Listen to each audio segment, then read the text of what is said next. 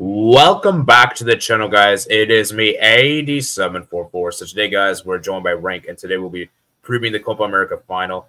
We were going to have a Colombian friend of mine join. Unfortunately, he had um, family emergency stuff, so he wasn't able to join. So we're not going to have, unfortunately. And yeah, so uh, thank you for joining Renk. Obviously, you guys know Renk. He's been a long time uh, uh, person on my channel. He's been here for so long. And uh, you know, I think what was the first time you came on my channel? Actually, I think it was like 2022, right? It was uh, June 2022, yeah, for your uh, preview for Argentina when we qualified to the World Cup. Yeah, yeah. I just realized it's been like pretty much about two years, uh, uh, almost uh, pretty much been two years. So yeah, over two years now. Yeah, yeah, yeah, two years and a month. So yeah, thank you for joining Renk. Um, and so, like I said, guys, let's go ahead and start with the we're doing a Copa America final preview, guys. So uh, let's start with the let's start with the first uh, question for you, Renk, and that is, what were your pre-tournament expectations for Argentina? Obviously, I knew I know you probably expect Argentina to make the final, but um, were you surprised at the manner in which they made the final? Because I feel like it's not surprising, but I feel like the performances it wasn't as dominant as I would have thought. I suppose is probably a better way to put it. Um, I guess you can put it that way. Uh, my pre-tournament expectations was that we should be making the final, looking at the uh, teams that we were going to, we were going to play on our way to the final, because you know the the draw was pretty kind to us in that regard. Uh, so pre-tournament, I was expecting us to reach the final, and in my predictions, I also had us winning the entire thing. Uh, but I think that the minimum expectation was to make the final, and I think we've met that. Um, if we had gone out to say Ecuador or uh, Canada, I think that it would have been fair to uh, call that a failure because reaching the semifinals or the quarterfinals is not in itself a failure, but going out to a team that is like that inferior in paper is a failure. So I think that now we've gotten at least to the stage where if we lose the final, I don't think you can call that a failure, right? Uh, so we've gotten past that. Um, and yeah, I guess my expectations were met, but like you said, it wasn't as dominant as one would have imagined.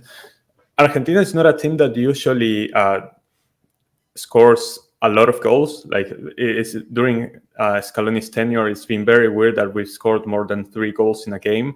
So I was not expecting us to destroy everybody, but I was expecting us to dominate the games. And during these Copa America games, we've actually been conceding quite a lot of chances, especially like against uh, Ecuador and Canada.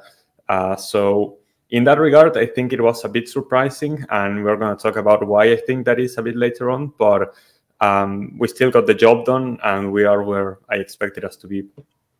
Yeah. Now we look. now we look at the other side of the bracket. So now I imagine before the tournament, obviously, um, you probably know this better than I do. I believe most people expected Uruguay to make the final. Am I correct in saying that? Yeah, I think the most popular choice for the final was uh, Argentina Uruguay before the tournament. Yeah.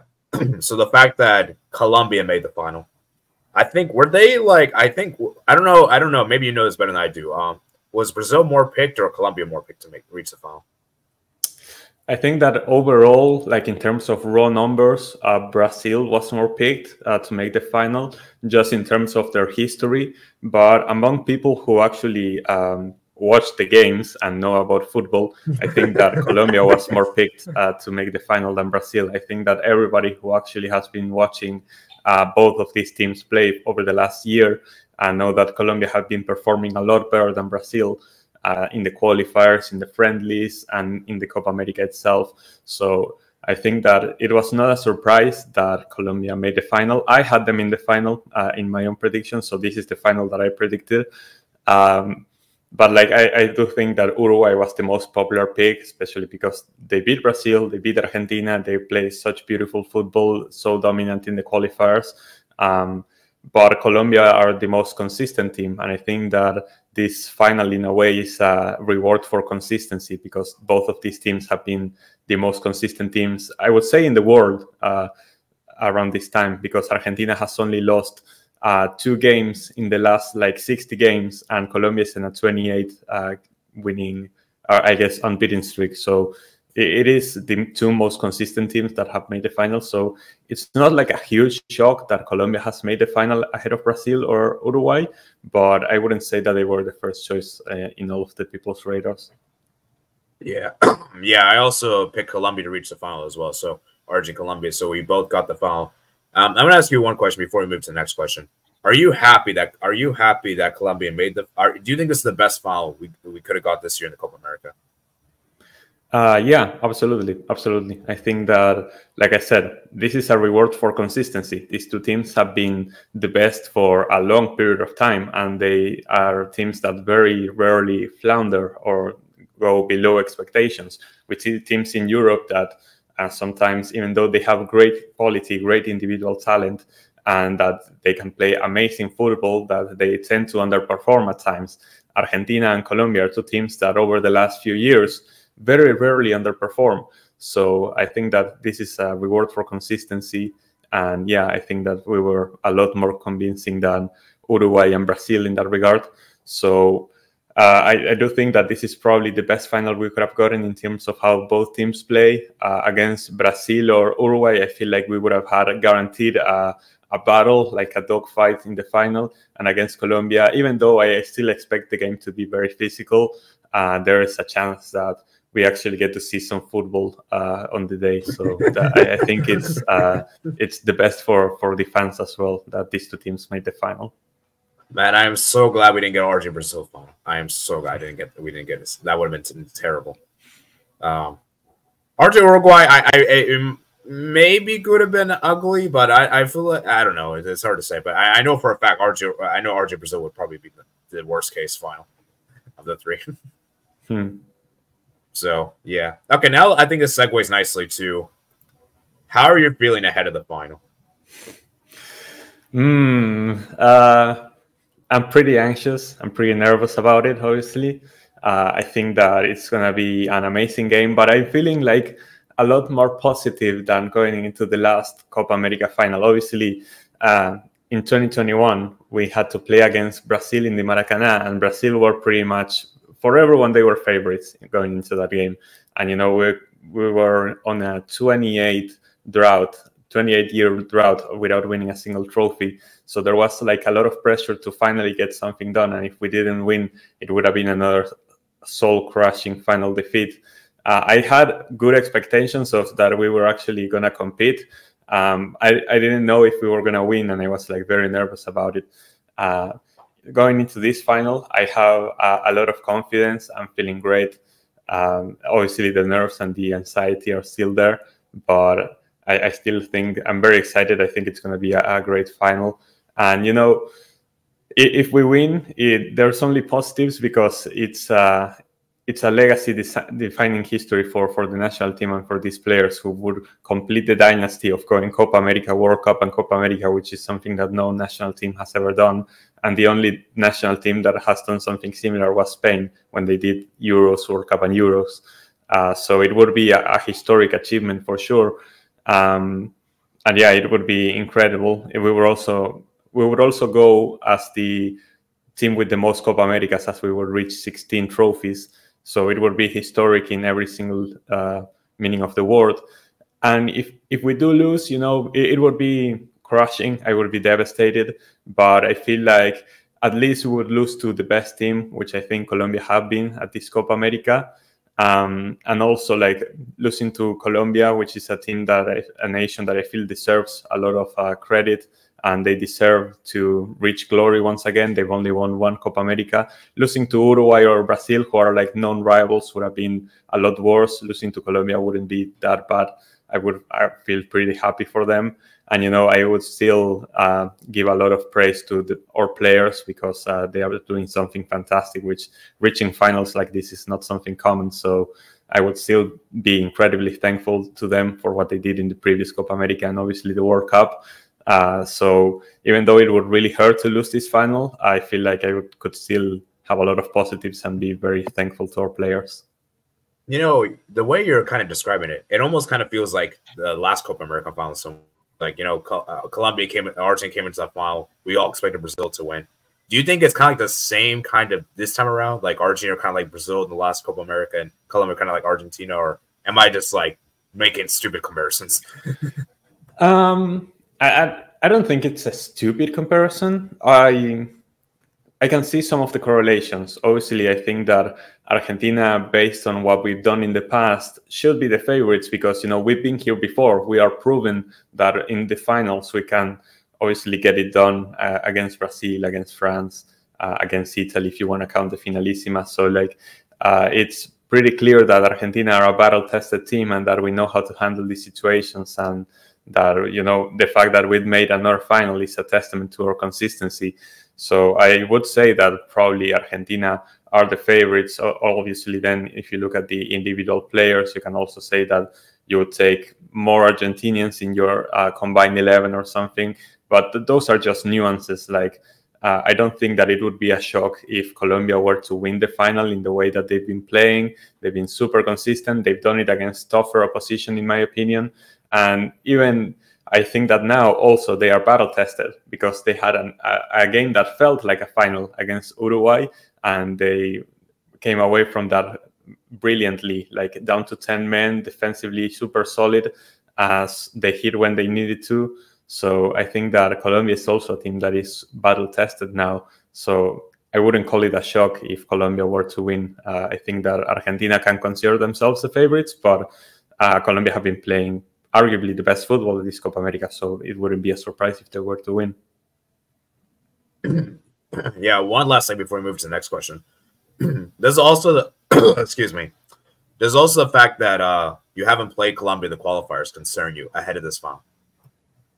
Mm, well, that is something to consider because obviously, uh, like you were saying, these qualifiers we haven't played Colombia. We haven't played Colombia under Nestor Lorenzo. The last time we played Colombia was actually the last time that Colombia lost in the qualifiers ahead of Qatar 2022, all the way in like, what was it, uh, September of like 2022 or maybe a bit further back, but it was in 2022, the last time we played Colombia. We beat them 1 0, a goal from Lautaro uh, in Argentina. So, like, it was uh, a very different team. That Colombia was on a seven game without scoring streak, and this Colombia team is playing some fantastic football. So it's a much better uh, team than the one that we faced last time. So I would say that it, worries me a bit in the sense that we haven't really been tested against this exact same Colombia team. But I trust that Scaloni always does his research properly and analyzes teams very, very well with his staff, with Aimar, with Samuel, with Ayala.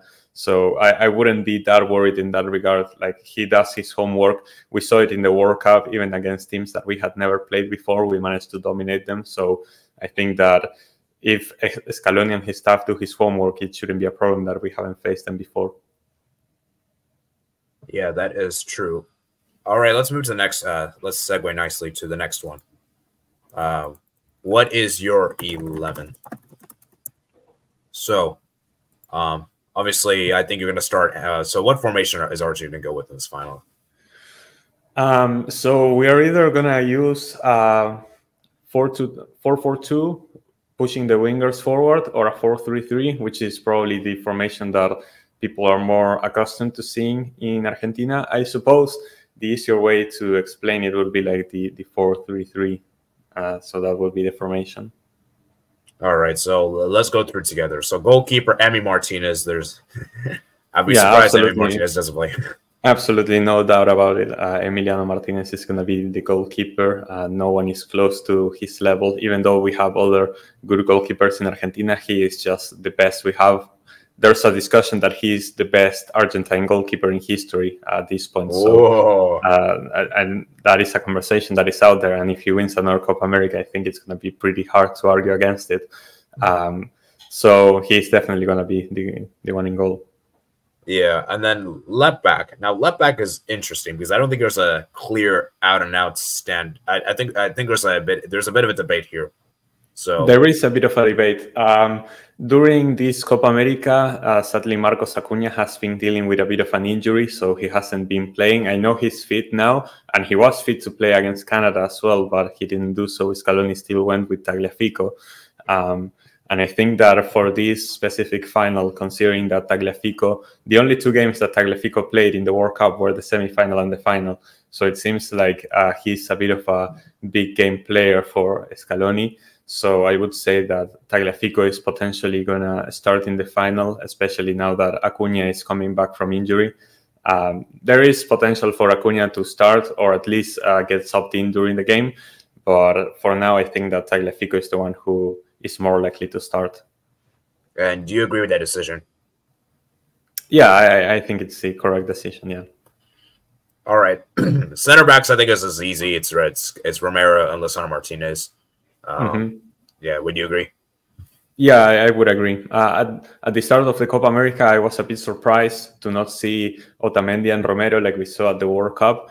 Um, Scaloni kind of did that last minute adjustments. We had seen Lisandro play in a few friendlies, but it was like the first time that he was starting official games with Argentina. Um, but he did so brilliantly. Um, Lisandro and Romero, I think, have been two of the best players of Argentina this World Cup. Their partnership together is just so insane. Uh, they are great in their timing, in their vision of the game, their intuition. Uh, their challenges are mostly clean.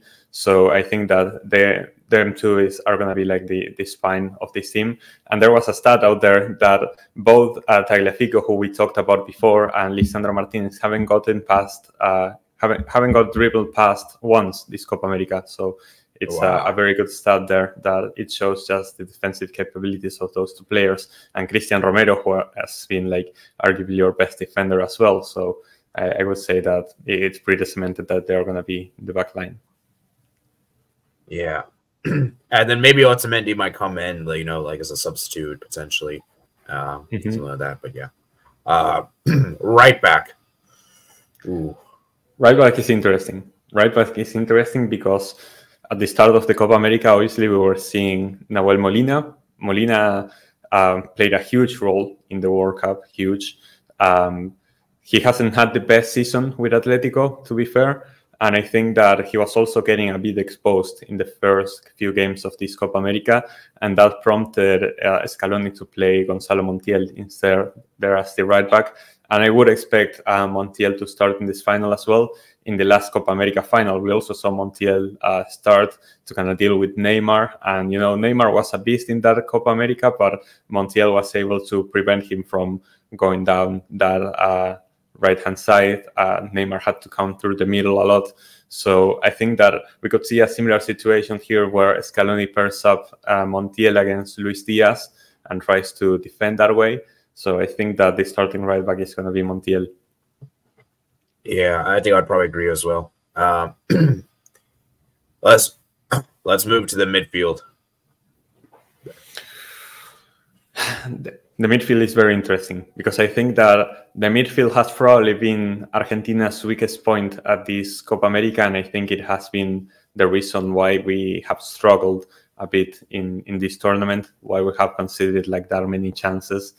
Uh, it's because in the midfield looks disconnected, doesn't seem to have uh, that same chemistry that we used to have. We're missing a lot of passes in that area, and it's allowing teams to recover the ball and hit us in the counter attack or something to like um, yeah, just basically get their chances.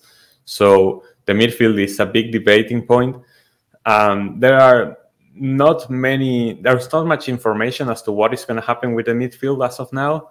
Um, but I, if, since there is not much information, I think it's very likely that it stays the same. That we're going to see uh, Enzo Fernandez moved uh, to the CDM role, where he worked a bit better than uh, in the eight as we saw against Ecuador. Against Canada, he played again as the six. So I would expect Enzo Fernandez to take that position, and the two other CMs would be Alexis Mac Allister and Rodrigo de Paul, who I think has been once again Argentina's best midfielder at this tournament. Yeah, I think. Um, I th- excuse me. I think you would probably agree that Enzo's probably been the worst midfielder of the three, right? Yeah, yeah. I think that Mac Allister overall has been pretty quiet. He had a a good game against Ecuador in the quarterfinals. I gotta give him that. Yeah. But uh, as for the rest of the games, Mac Allister was pretty quiet. And so, yeah, I would agree that he's been the the worst uh, of the three midfielders, and that's why there's potential for someone like Paredes or Lo Celso to slot in, or maybe even Palacios. Um, so I think those will be some of the options that Scaloni must be considering as a potential backup. But since there's, like I said, there's not been much information of any changes on the midfield, so I expect it to stay the same. And I wouldn't blame Scaloni for it, honestly. Um, I Paredes and Lo Celso are two players that I absolutely love for the national team, and I would love uh, to see them get more minutes. But you know, if Enzo does the job for Scaloni, I don't see a reason why he should come out of the 11. Uh, if I were to choose who would play in that position, I'd probably go with Paredes. But I'm not really, you know, Paredes can be like that destroyer in the midfield. He's more of a natural yeah, yeah, CDM. Uh, he has good passing. He has long range shooting. So Paredes uh, adds a bit of everything to the team. But um, if that doesn't happen, I'm completely fine with Enzo starting in this game. He's a lot. Uh, he's very proven as well, so I, I, wouldn't be against it. You know, it's just that Argent's midfield is so stacked that you have so many options. Like most national teams don't have this kind of depth, so like mm-hmm. it's really hard. You know, um, obviously de Paul is going to start. There's no way he's not going to start. He's like you know so essential to his team. He does the pressing. He's he's so essential, and he's like the bodyguard essentially for Messi. You know. Yeah. All right, let, let's move to that attack. So, you know well, who's going to start.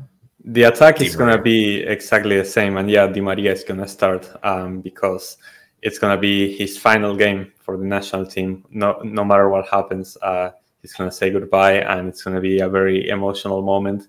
Um, because after everything he's gone through with the national team, uh, he had, you know, a, a very, very bad moments throughout his career with the national team.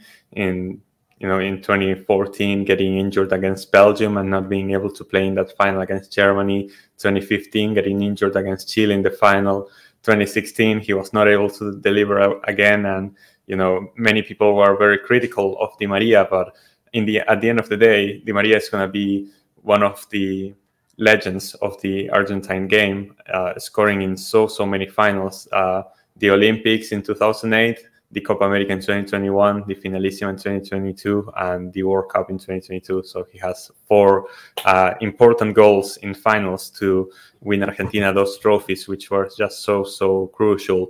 So he he has been one of the talismans of the national team. He also has a lot of other memorable moments, like his goal against Switzerland in 2014, uh, his goal against France in 2018. So like he, he seems like someone who is incredibly underrated, and yet he's always been there for the national team. So it's going to be a very emotional moment seeing like his final game here. Um, and we just have to await if he has one more magical moment in a final for us, which would be uh, what we want to see the most, obviously. And the partners in the attack, I don't think they're going to change. I think it's going to be Julian Alvarez and Lionel Messi playing in this one. Uh, Messi, we saw against Ecuador that he clearly was not fit. Uh, he was he did not have a good game. He was pretty invisible in that one, and you could tell that he wasn't really fit for the game. Against Canada, we saw uh, again the best of Messi. We saw him more relaxed. He was not in his own head as much, and he was able to. Uh, people are going to say that I'm, I'm, saying this because of the goal. No, the goal was pretty lucky for Messi to get, but in the game he was also yeah, a lot yeah. more involved. Uh, he was doing more passes. He was yeah a lot more uh, chances yeah, finding the pockets of space. So Messi was a lot more involved against Canada. So I expect Messi to be fully fit for this game and to have another great performance. So there's no way that Messi is not going to start and he's going to play the entire match as well. And Julian Alvarez, I think it's going to start. Uh, obviously, he had a great game against Canada. Uh, he showed again why he's so important for this national team with the pressing, his off the ball movement, his link up play.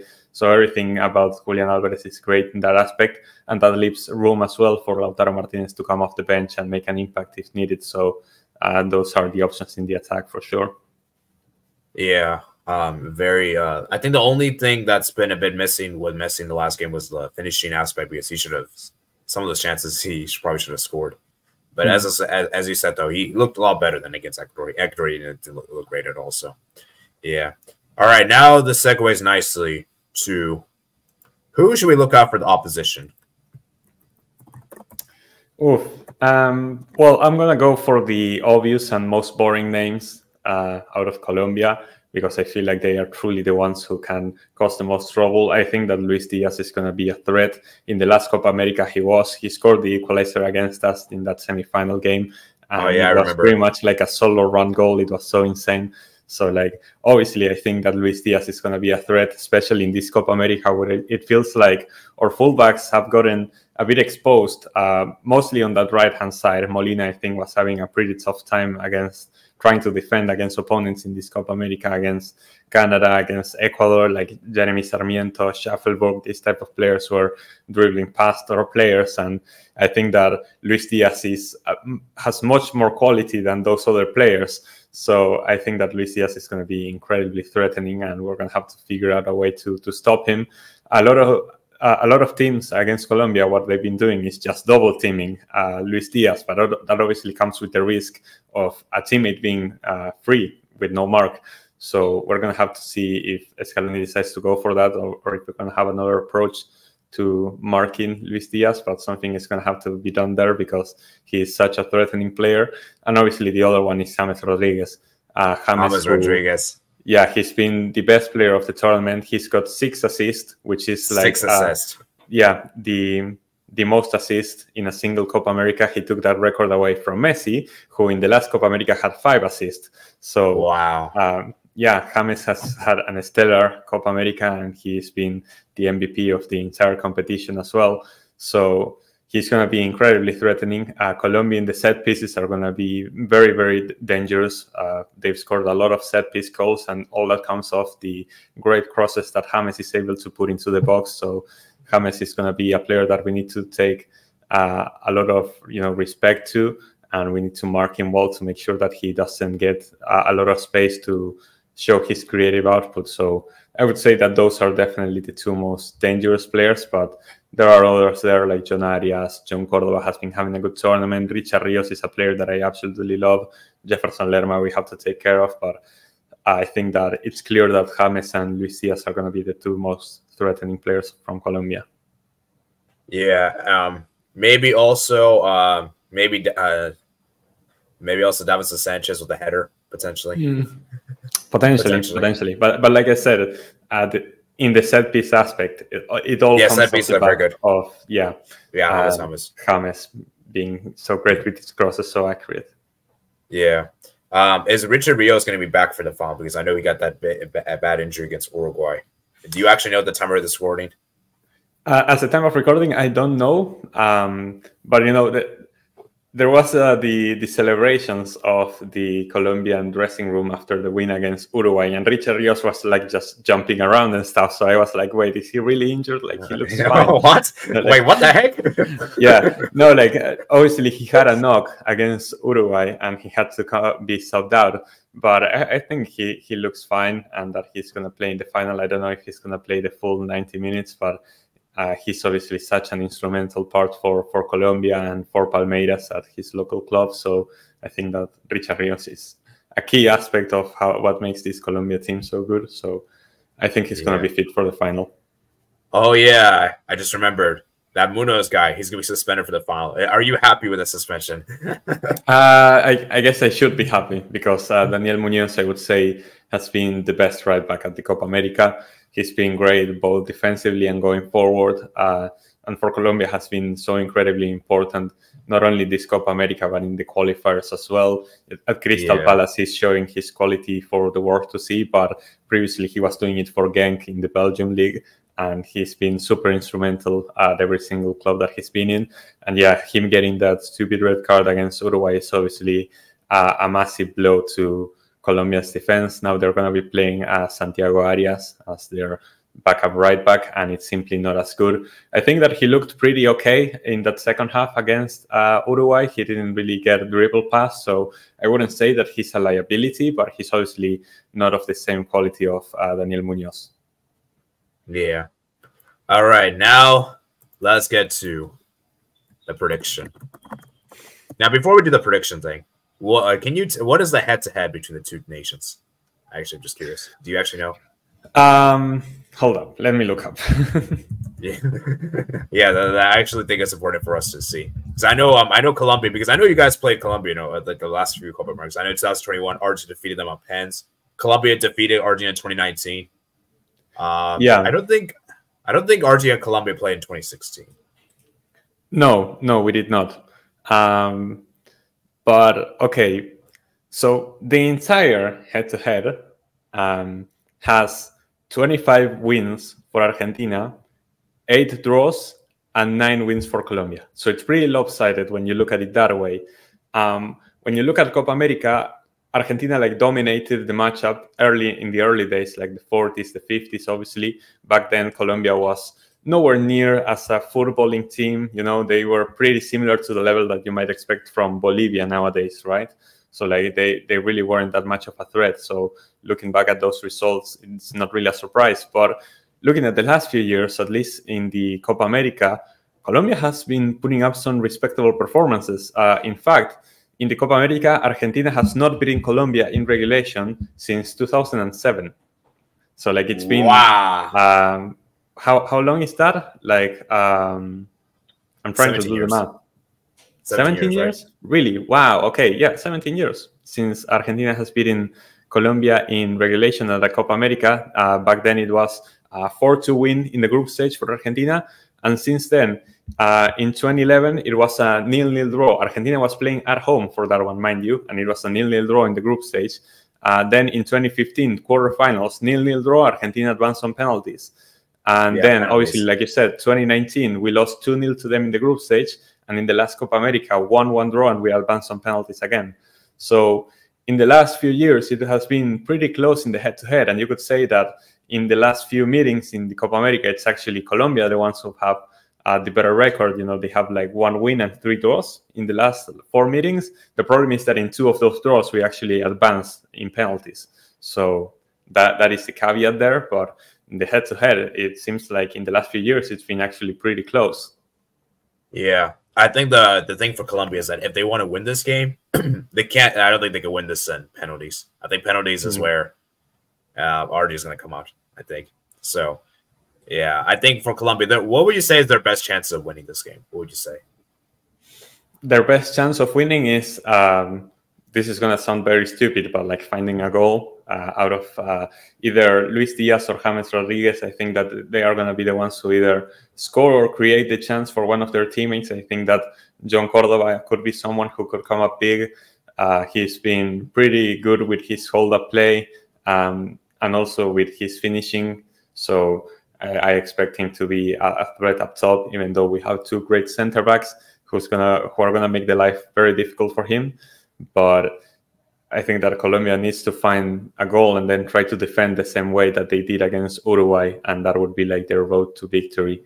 Um, I wouldn't discard Colombia uh, from the final if they go behind. Like I don't think this is a case where whoever scores first win. I think that there's potential for comebacks, uh, especially because Argentina in the past uh, we, we we know a thing or two about getting leads and then not being able to hold on to them. yeah. And we saw it at this on Copa America as well. So it's not like if we score first, the game is over. But I feel like uh, for Colombia, obviously it would be great for them to go ahead in the game and then rely on their defensive prowess like they showed against Uruguay to try and hold on to that lead and kind of frustrate us until the end. So uh, yeah, I think that would be the best chance for Colombia for sure. Yeah, I think. See, the thing is, like, actually, I want to ask you this question, then we'll get to prediction. Do you think RG have it in them to make a comeback? Because we we haven't seen RG be in a losing position at all this Copa America. Colombia have only been once against Brazil. So, mm-hmm. um, yeah, I, that is a good question because Argentina haven't gone behind a lot in in the last few years. Uh, like I said, we only lost two games in the last like 61 and they were against Saudi Arabia and Uruguay. So I, I think that yeah, we haven't seen Argentina go behind many many times, and most times we went behind, we ended up losing the game. So I think that is a big question mark if we have it in us to actually make the comeback. I think we do because uh, we've shown a lot of character in a lot of games, and I think that the team is very composed and can always try to create those chances even if we go behind to try and go back in the game. But like, yeah, I, I think it's a genuine question. If we have an in us, uh, I cannot answer that question because if it's very possible that we go behind in the game and we end up losing the final. But um, I, I think that there's possibility for us to make a comeback. Yeah, I wouldn't rule it out. Yeah, so it's going to be interesting. My prediction, it's a tough one because I, uh, before the start of the Copa America, I predicted Colombia to win the Copa America, and now, do I stick with that prediction or do I go against it? It's a tricky one, but you know, I think I'm going to stick with it because I feel like Colombia. I feel like this is destiny. I feel like what they've done this Copa America, that game against Uruguay for me was a champion win. The way they defended, the way they put everything on the line, like that's like a spear of a champion. And I feel like Colombia can give you like I think I said this in my videos, like they can give you the attacking performance that you want, like against Panama. They can also give you ultimate defensive performance. And I feel like champion, you need both. You need to be great defensively and offensively. So I'm gonna stick with Colombia. Obviously, Renk will be very mad if this happens, but um, I'm gonna go with Colombia. Nah. I I think I'm gonna say they won two one extra time. I think two one extra time. Um, I think it'll be one one in full time and then two one extra time. I think that's what I was going to say. All right. Yeah, ju- just a reminder for people that there is actually extra time in this game because in the rest of the oh Copa yeah, extra time. We, we, didn't have extra time in the other games of the Copa America. The final has extra time, so yeah, that, that is a valid prediction. Um, I guess we kind of have a, a, bit of a similar prediction in a way because my prediction is for this game to end one-one, a bit of a repeat of 2021 because I think the game is going to end one-one and Dibu Martinez is going to come up clutch again for us in the final and win us another trophy from the penalty spot. So I predict uh, one-one draw and Argentina wins some penalties. Uh, that's fair, man. That's fair. Uh, that'd be heartbreaking for Colombia. That'd be really. It would. It would. But uh, the reason why I think this is going to be a draw, despite most people thinking that probably Argentina are going to be the favorites, is that Colombia have been great. They they are on a 28 uh, unbeaten streak uh, game unbeaten streak for a reason because they've been so consistent, so good, and just incredible at managing their leads. And like you said, amazing both offensively and defensively. But Argentina are the World Cup champions for a reason. I think that we are an amazing team ourselves. So I think that even though we haven't shown our best level at this Copa America, we can rise up to the occasion for it being a final. And so I think that there is just very little to separate these two teams and that it's going to be a very, very close game. So I, I predict that draw. And the problem with the draw, like you said, is that we have a game changer in penalties. And, you know, Camilo Vargas is a goalkeeper that I really respect, but I don't think he's at the same level as uh, Emi Martinez. And I think we have amazing penalty takers as well. So uh, if it gets to that point, I would expect us to win. I would be incredibly nervous. And, you know, then in the penalty shootout, anything can happen. But I would expect us to come out on top. So, yeah, that is going to be my prediction. I think the only nation, the only nation that can maybe be barging out penalties is maybe Croatia. you say that, but then in the Nations League, uh, Croatia and Spain went to penalties, and Spain had like awful record in penalties, and Croatia had the best record on penalties, and who won? Right, that that's true. That's true. That maybe Egypt, maybe Egypt, maybe Egypt, maybe Egypt can beat. no way, no. oh, actually, never mind. You, this Cassano can beat them on penalties too. I don't know, man. I, I whichever nation beats RG on penalties, they, they, they, they're gonna party all night. It's gonna be crazy. It's gonna be so hmm. like I don't know, like it's gonna be so hard. Like whichever nation beats RG on penalties, that would be incredible. Because I don't know any other, I don't know any nation beside these two, honestly. Hmm. Yeah. So, but yeah, man. Um, let's do quickly our goal scores, and I guess we'll round off. So my goal scores uh, for Argentina. See, I, people are going to say Messi, but I think I heard the stat, and you could actually fact check this. I don't think Messi has ever scored against Colombia in a Copa America ever, right? No, no, he hasn't. So, yeah, uh, Messi is feel like the too obvious answer. I'm going to mm-hmm. say, I have a feeling that Lautaro might score. He might come off the bench and score a goal and push it to extra time. And then I think for Colombia, I'm gonna say I got a feeling they're gonna score set piece. I got a feeling. um, I guess I'll go with Davinson Sanchez, or maybe Lerma. Actually, I'll go with Lerma. I'll, I'll go with Lerma. And then I have a feeling Colombia will score a score a screamer at extra time. I don't know who's going to score the screamer. Maybe James or Luis Diaz. Actually, I'm gonna say Luis Diaz. I think Luis Diaz is more likely. Okay. Okay. Uh, okay. How about your goal scores? My goal scorers. you know, this is gonna sound very Disney Plus. Di Maria scores for Argentina. Ah, ah yeah. And then um, Colombia equalize through. Um, who do I have at the agenda? Let's say, you know what? John Arias scores a goal for Colombia. Ah. so yeah, man, it's gonna be a final. Remember, guys, we're gonna have a live reaction after the final. Uh, Renk, you will be there no matter what, right? I'll be here no matter what. I don't know where I'm gonna be. I don't know if I'm gonna be here in the apartment, if I'm gonna be outside in the streets from my phone. It's gonna be very scuffed if that happens, but uh, I'll be here. I'll I'll try to be here for sure. Yeah. Dude, if Argentina win it, you gotta show you gotta show like the scenes yeah, yeah, yeah. I'll, try, I'll try, to go to, to the streets, to the obelisco, like the obelisk, which is like the place where all the people congregate to celebrate whenever we win trophies. Maybe you've seen that in social media after we won the World Cup. The place was packed with people. I'll try to go there and try to not get my phone stolen or something, but I think it's going to be pretty fun. Yeah, um, uh, unfortunately, it is gonna be a Sunday night, so I, um, I'm gonna we're gonna we're not gonna be able to stream for that long, so maybe an hour or something, uh, you know. So mm-hmm. Um, but yeah, we'll we'll see what happens, man. We'll see what happens, man. Best of luck to Argentina. And as I say, I think it's called Vamos Argentina. I think that's what they say. Yeah, so. Vamos es come on. So yeah. Yeah, and I don't know the phrase for Colombia, so you're gonna have to educate me on that because I don't know. So it's gonna be the same. Like I guess it's Vamos Colombia or Arriba Colombia, like big up as well. Yeah. So yeah, Matt, thank you for joining Renk. Um, it's been great uh, having you on. And like I said, guys, please subscribe to Renk's channel. We'll be doing a watch along with the final. Uh, I'm not gonna do. I'm not gonna. I'm not gonna do a watch along because I want to I want to. I'm. Yeah, I'm gonna. I'm gonna see if I'm gonna probably see it by myself, and then maybe I'll record my reactions on YouTube. Maybe I'll record my reactions on YouTube or something. Uh, we'll see. Hmm. Uh, but we'll definitely. Uh, we'll definitely be here after the game and everything like that. So, Renk, it's been a great Copa America, even though there's been a lot of uh, controversy going on with Bielsa posts with the USA stuff. but uh, we're, we're gonna we're gonna save them for another time. But yeah, any any final thoughts you before round off? Um, yeah, it's been a, an amazing Copa America. You know, time flies because we've been waiting for the Copa America for so long, ever since the draw was made all the way back in March, I believe it was. Um, we've been waiting for it so long, and now suddenly it's over. I think it was December, uh, actually. December, wow. So, yeah, we, have been waiting for the Copa America for a long, long time, and now it's coming to an end. Uh, it's been a fantastic tournament. We've seen some great games, some fantastic goals. The intensity of the game has been insane as ever.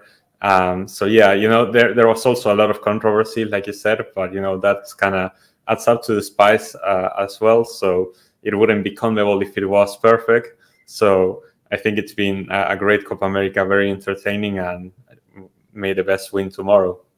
Oh, I and I, one last thing I forgot to mention. I I, I need to, I should I should have mentioned this earlier.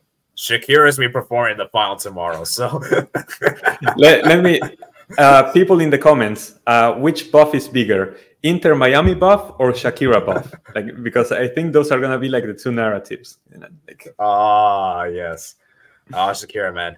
Uh, who who doesn't love Shakira? If you don't love Shakira, you're just sad. I'm sorry. Apparently, Daniel Munoz because he didn't want to be in the final for that. Ah, Daniel Munoz. Anyways, um, we're gonna round up here, guys. Hope you guys enjoyed uh, today's video. Please let me know your guys' thoughts and comments below, guys. And like I said, man, thank you for Renk for coming on. Subscribe to his channel, and of course, we're gonna have a post-match reaction stream after the final. So I hope I can see you guys then, man.